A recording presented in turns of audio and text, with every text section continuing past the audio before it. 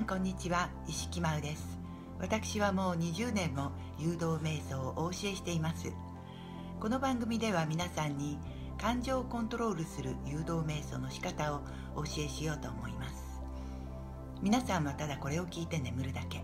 それだけで十分です。では今日のテーマはこれです。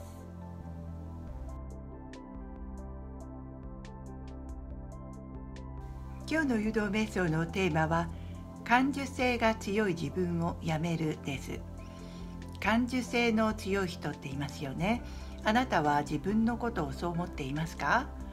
この人たちは社会でいろいろと不都合なことが生じます。人が感じないことを感じて一人で違和感を感じていたり不快感を感じていたりします。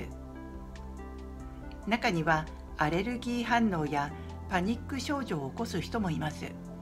心の中ではいつも怒っているんですがそれを周りが鈍感なせいにしています。ですから人と本当の意味で仲良くすることが難しいんです。この人たちの本当の問題は感受性の強さを人よりも優れたことだと勘違いしていることなんです。傲慢なんですね。ですから自分を特別な人間だと思っているんです。本当はこの人たちはとても弱く自立しておらずそのために表面上は遠慮がちに振る舞いますが心の中では密かに周りの人をバカにしています。社会人であればこんな人と付き合いたくないですよね。それでより孤独になってしまうんです。でも本当は人一倍寂しがり屋なんです。感受性が強いというのは実はまだ大人になりきれていないということなんですね。その部分だけ赤ちゃんの脳だということなんです。でその引き金となる不快感というのは単なるわがままなんです。それを感受性が強いから不快になったと正当化しているだけなんです。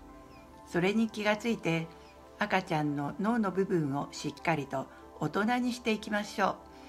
その方が絶対楽ですよ。そしてお友達もできますね。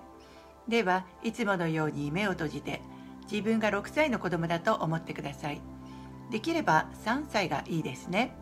そこへ大人の自分がやってきてあなたに話しかけます。あなたは感受性が強いよね。人の言葉にすぐに傷つくよね。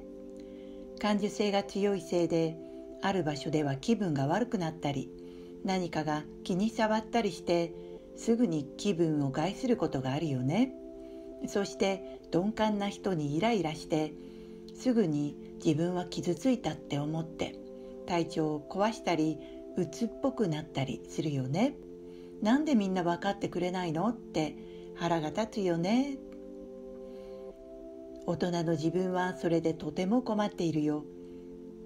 大人の自分はすぐに体調不良になったり気分が悪くなったりして自由がなくなっているんだよ。みんなと同じように行動したいのについていけないんだよ。